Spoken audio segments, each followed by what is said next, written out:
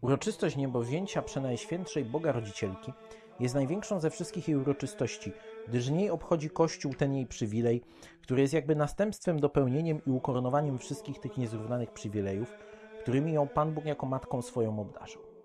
Przez tę bowiem tajemnicę wyznajemy wraz z całym Kościołem od jego początku, że Maryja lubo uległa śmierci jak każdy człowiek, a nawet i sam Pan Jezus, jednak wkrótce potem wskrzeszona z ciałem i duszą wzięta została do nieba. Wielu ojców świętych, a między nimi święty Dionizy Areopagita, który był obecny śmierci, czyli jak to nazywa Kościół, zaśnięciu Matki Bożej. Następnie był świadkiem jej pogrzebu, a w końcu i zmartwychwstaniu. W ten sposób te szczegóły ostatnich chwili jej błogosławionego pobytu na ziemi opowiada. Po wniebowstąpieniu pańskim Przenajświętsza Panna Maryja żyła jeszcze lat 23. Spędziła czas ten po części w mieście Efezie, gdzie długo przemieszkiwał święty Jan Ewangelista, któremu Pan Jezus umierając na krzyżu zlecił opiekę nad swoją matką najdroższą, a po części w Jerozolimie z tymże ulubionym uczniem pańskim mieszkając. W tym to ostatnim mieście nastąpiło jej błogosławione zaśnięcie, a po nim w niebo wzięcie. Najświętsza Panna żadnej nigdy nie podlegała chorobie, gdyż posiadała najdoskonalsze ciało, jakie tylko być mogło po przenajświętszym ciele Syna Bożego. A stąd uśnięcie jej, czyli śmierć, nie nastąpiła ani z przyczyny jakowej słabości, ani wskutek podeszłego wieku, lecz jedynie z niezmiernej miłości Boga, a więc z niezmiernego pragnienia oglądania już w niebie swego Syna Najdroższego.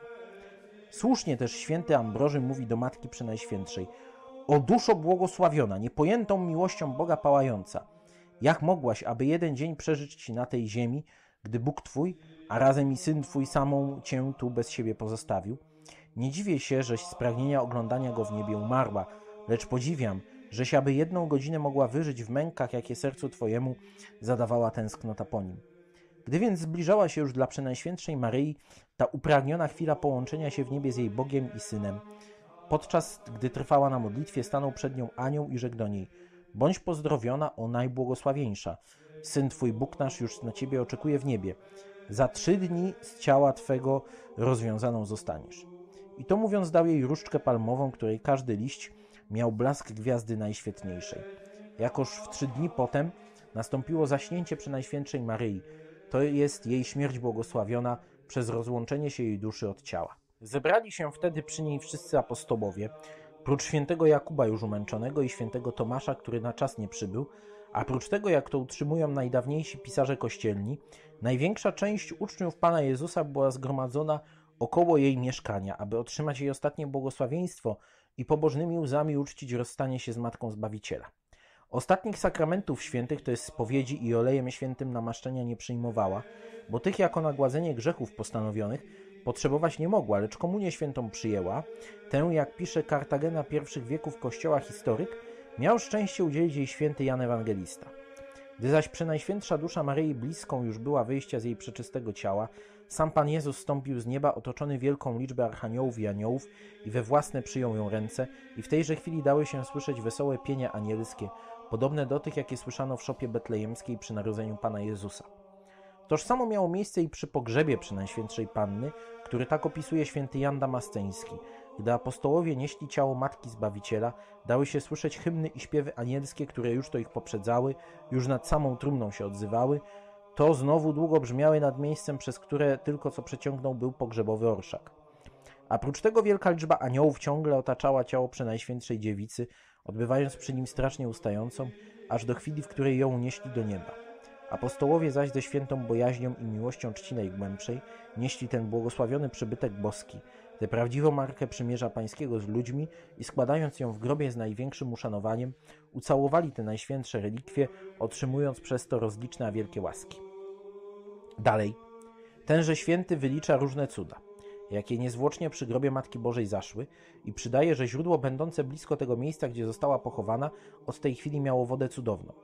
Grób Przenajświętszej Maryi Panny był na Dolinie Józefatowej, blisko grobu Pana Jezusa. Apostołowie umieściwszy tam Przenajświętsze jej ciało, przy nim pozostali, a sami śpiewając hymny kościelne, słyszeli w powietrzu śpiewy anielskie, które dnia trzeciego ustały. Wtedy właśnie nadszedł święty Tomasz Apostoł, który przy uśnięciu Matki Bożej nie był obecny. Prosił więc, aby otworzono jej grobowiec, żeby i on mógł oddać jej zwłokom tę cześć, jaką inni apostołowie już oddali. Gdy to uczyniono, nie znaleziono jej przeczystego ciała, lecz w miejscu jego cudownej piękności kwiaty, przedziwną woń wydające. Już bowiem wtedy Przenajświętsza Maryja, wskrzeszona mocą Bożą, z ciałem i duszą do nieba wziętą została, jak to Kościół Boży stale i powszechnie wyznaje. Pisząc o tym, święty Augustyn utrzymuje, iż inaczej być nie mogło, bo gdy Pan Jezus, powiada ten doktor Kościoła, Przenajświętsze ciało Matki swojej do takiego niezrównanego wyniósł zaszczytu, że z tego, że jej ciała własne swoje ciało ukształtował, czy mógł, żeby toż ciało wydać na pastwę robactwa, jak każde grzeszne ciało ludzkie po śmierci? Nie uczynił też tego. I tak jak duszę jej uchronił od skazy grzechu pierworodnego, tak i ciało od pośmiertnego zepsucia. Tym bardziej, że jak się wyraża pewien pobożny pisarz, Przenajświętsza Panna nieporównaną godność swoją jako prawdziwa Matka Boga, więcej, jeśli tak wyrazić się można, spełniła ciałem swoim aniżeli duszą, bo przeczyste ciało jej dostarczyło całkowicie ciała Synowi Bożemu, a dusza duszy jego nic nie przydała. Należało się przeto jakby koniecznie, aby w zamian za szatę śmiertelną, w którą ciało Maryi, wydając z siebie ciało Jezusowe, przyoblekło było Boga w jego zstąpieniu z nieba na ziemię, nie uległo ani na chwilę zepsuciu w przejściu Przenajświętszej Panny z tej ziemi do nieba. Dziś, powiada święty Jan Damasteński, w swoim kazaniu na uroczystość niebowzięcia Maryi, Przenajświętsza i żywa Arka Najwyższego Boga, która w łonie własnym poczęła Stwórcę swego, złożona została w świątyni pańskiej, nie ręką ludzką wzniesionej. Dziś niebo zamieściło pośród siebie żywy raj ziemski, którym mieszkał nowy Adam, w którym nastąpiło odpuszczenie pierworodnej winy, w którym zasadzone zostało drzewo nowego żywota, w którym nagość nasza na nowo przeobleczoną została. Dziś niepokalana dziewica nie do ziemi wróciła, lecz jak była żywym niebem, w którym nas na ziemi Bóg przebywał, w niebieskich przybytkach umieszczoną została. Ta bowiem, której dla wszystkich prawdziwe życie wyszło, jak żeby sama śmierci zakosztować mogła. Uległa wprawdzie prawu wydanemu przez tego, którego sama zrodziła, jako dawnego Adama córka wyrokowi na wszystkie jego dzieci wydanemu podpadła, bo od tego i syn jej, który jest życiem samym, uwolnić się nie chciał, lecz jako Boga żywego matka do niegoż, jak to się jej należało, z duszą i ciałem wzięta została.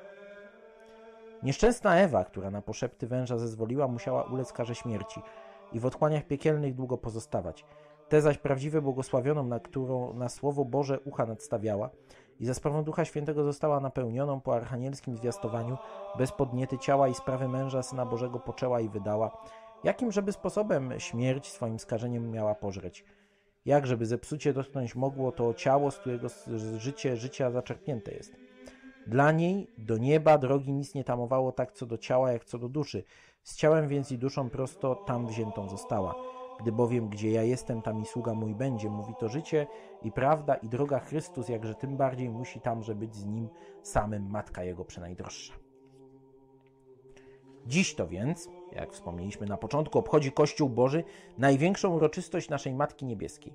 Radując się wraz z aniołami z jej wstąpienia do nieba i śpiewa w antyfonie Wzięta jest Maryja do nieba, weselą się aniołowie, wychwalając, błogosławią Panu. Ojciec Arżantan, kapucyn, bardzo pobożny i znakomity pisarz, robi piękną uwagę, że wstąpienie przy Najświętszej Maryi do nieba było jeszcze świetniejszym niż samego Pana Jezusa. Na przyjęcie bowiem Zbawiciela czekała tylko Trójca Przenajświętsza i wyszli sami aniołowie, a Maryję przyjmował już prócz tego i liczny poczet wybranych przez Pana Jezusa do nieba wprowadzonych i co największa wyszedł naprzeciw niej i sam Syn Boży. Uroczystość dzisiejszą u nas zowią Najświętszej Panny Zielnej, dlatego że w dniu tym wierni znoszą do kościoła kwiaty i wonne zioła, na znak swojego szczególnego wesela w tym obchodzie największej uroczystości Matki Bożej, jakby na usłanie nimi drogi, po której ona wstąpiła z tej ziemi do rajskiego Jeruzalem.